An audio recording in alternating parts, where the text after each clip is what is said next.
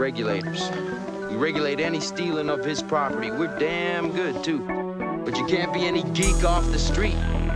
Gotta be handy with the steel, if you know what I mean. Earn your keep. Regulators! Mount up!